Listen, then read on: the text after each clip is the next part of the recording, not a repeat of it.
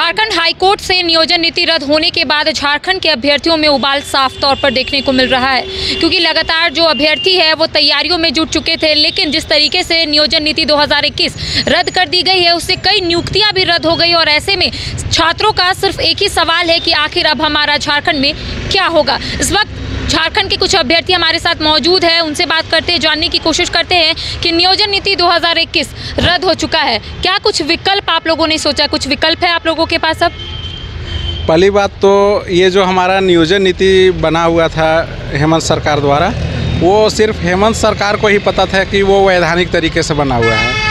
लेकिन यहाँ झारखंड के हर एक बच्चे बच्चे को पता था कि वो असंवैधानिक है। और ये दस महीना पहले, साल भर पहले बना हुआ था जो कि सिर्फ़ समय बर्बाद किया गया है। और उसके बीच में कोई मतलब बहुत सारा यहाँ बताया गया कि वो असंवैधानिक है, लेकिन कोई सुधार हुआ ही नहीं। और कोई सुधार नहीं होने की वजह से यहाँ सिर्फ़ हम लोग का समय सिर्फ़ बर्बाद हुआ और कुछ नहीं हुआ है। अच्छा ये बताइए कि कुछ विकल्प तो आप लोगों ने सोचा होगा ना कि अब आप लोग कहाँ जाइएगा क्या कीजिएगा क्या सरकार से मिलने की कोशिश कीजिएगा मुख्यमंत्री हेमंत सोरेन से मिलने मिलने की कोशिश कीजिएगा? क्योंकि लगातार ये बातें आ रही थी कि जो संशोधन हुआ है नियोजन नीति में वो गलत है। ये बात आ रही थी। विकल्प ये है कि अगर सरकार सुप्रीम कोर्ट जाती है तो हम लोग उग्र प्रदर्शन करेंगे। अब याचना नहीं अपहरण होगा जीवन जाए कि मरण होगा। बहुत हम लोग याचना करके देख लिए। बहुत बार हम सर से बहुत बार हम लोग न्यूज़ न्यूज़ के माध्यम से या आप लोग के माध्यम से बहुत बार कहे कि सर जो है इसमें जो खामियाँ हैं उसको दूर किया जाए। पंचायत सचिव के साथ क्या हुआ? पंचायत सचिव वाले अगर याचना ही करते रह जाते तो आज उनका आधार में लट, लटक चुका था। आखिर उन लोग सुप्रीम कोर्ट का दरवाज़ा खटखटा। सुप्रीम कोर्ट से वर्डिक्ट आने के बाद भी दोबारा फिर से सुप्रीम कोर्ट उनको जाना पड़ा। तो अब जो है अगर सरकार सुप्रीम कोर्ट जाती है तो उग्र प्रदर्शन किया जाएगा। और क्या बोलता है शिक्षा मंत्री? कि उम्र खत्म हो जा रहा है तो हो जाने दीजिए। नए आएँगे। 2015 से लेके 2022 को 22 तक इस वैकेंसी को लेके आना, यहाँ तक इसकी किसकी क्या गलती है? या वो भाजपा के हों, या फिर झामुमो के हों, या कोई भी सरकार हो, केवल अपना मतलब देखती है। ये 2024 का अभी से ही तैयारी कर लिए हैं। सिंपल शब्दों शब्दों में समझिए।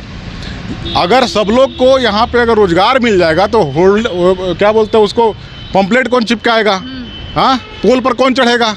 झंडा कौन उठाएगा? तो ये झंडा उठवाने के लिए तैयारी किया जा रहा है। उसे आज चाहे वो सेंट्रल गवर्नमेंट हो तब या फिर स्टेट गवर्नमेंट हो तब।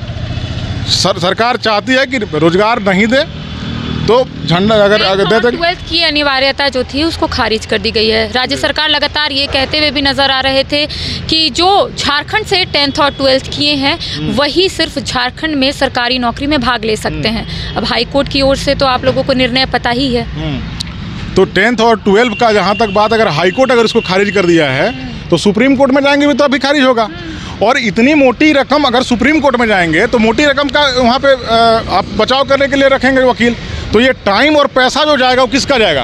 पैसा जो जा रहा है, वो हमारे ही पैसा जा रहा है टैक्स का पैसा जा रहा है। तो ये इतना मोटा मोटा रकम खर्चा करने की क्या ज़रूरत है? जब खुद खुद ब खुद, आप खुद जब वर्डिक्ट पढ़िएगा, जो वर्डिक्ट आया हुआ है, उसमें एक भी पॉइंट जो दिया गया है तर्क दिया गया है उससे हाई कोर्ट जो है सहमत नहीं है। तो आप सुप्रीम कोर्ट में जाके छीछा लेकर काय करना चाहते हैं? यहीं पर सुधार कर दीजिए बात खत्म हो जाएगी।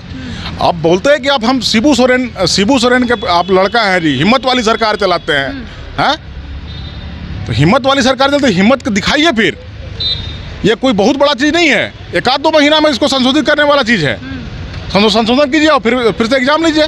बढ़िया से कीजिए क्या दिक्कत है? परेशानी कहाँ आ रही है? हम लोग तैयार हैं। कई परीक्षाओं में अब संशय के बादल है।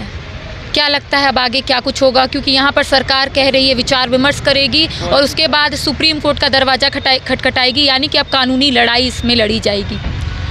जी ये सरकार की लापरवाही होगी। अगर ये सुप्रीम कोर्ट जाते हैं तो सरासर ये धूल झोंक रहे हैं और जनता को बुड़बक बना रहे हैं। और झारखंड की जनता और झारखंड का जो छात्र है वो जाग चुका है। अब सड़कों पर आंदोलन होगा, इसके अलावा कुछ नहीं है। और हम ये कहना चाह रहे हैं कि हेमंत दा हों या फिर जगन्नाथ दा हों, ऐसे मंत्रीगण हमारे यहाँ बनाए गए, इसका सरासर जो जिम्मेवार हैं, हमारे झारखंड के नागरिक हैं। और झारखंड के नागरिक को हम ये बताना चाहेंगे कि अगले चुनाव में इन लोगों का खटिया खड़ा होना चाहिए हर हालत में। और हम ये कहना चाहेंगे कि हर हाल में हर हाल में जो सरकार है वो अगर सुप्रीम कोर्ट जा रही है तो ये सिर्फ़ और सिर्फ़ बेवकूफ़ बनाने का एक षडयंत्र है सरकार द्वारा। अच्छा ये बताइए शिक्षा मंत्री लगातार बयान भी दे रहे हैं। उनका कहना है कि अगर उम्र आप लोगों की चली जाती है तो कई नए लोग आएँगे। उन लोगों के साथ वो जो नियुक्ति प्रक्रिया जो रुकी हुई है या फिर रद्द हो जाएगी उन लोगों के साथ ठीक हो जाएगा। लेकिन उम्र को लेकर उन्होंने कहा है कि आने वाले समय में कई लोग भी देखिए हम शिक्षा मंत्री से निवेदन करते हैं कि लटपट बयान मत दें हम्म, क्योंकि नवयुवक का खून ऐसे भी गर्म होता है। और ये लोग जो बता रहे हैं कि सुप्रीम कोर्ट जाएँगे सुप्रीम कोर्ट जाएँगे तो सुप्रीम कोर्ट जाने का इनका कोई रास्ता ही नहीं बचा है।